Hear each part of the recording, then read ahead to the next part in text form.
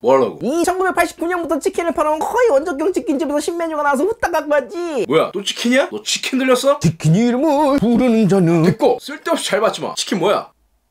저건 잘 봐도 지랄이여 멕시카나 고메 치킨 얼마야? 얼마긴 얼마요 2만원 요즘 신제품은 뭐 다 2만원이야? 어제 굽네는 19,000원이고 저때 BBQ는 25,500원인데 됐고 따지지 말고 제품 특징이나 말해 그게 팩트인데 고추 썰어 넣어갖고 매운맛의 밸런스를 잘 맞췄디야. 그게 다야? 이 요기 17일날 정식 출시하는 건데 요번 주 일요일까지만 사전 출시한 거랴 그게 무슨 소리야? 이 먼저 깔짝 팔아서 유튜버들 영상 찍고 먹고 싶게 만든 다음에 다시 한번 제대로 팔아먹겄다는 됐고 니 뇌피셜 좀 하지 말고 이제 먹어봐.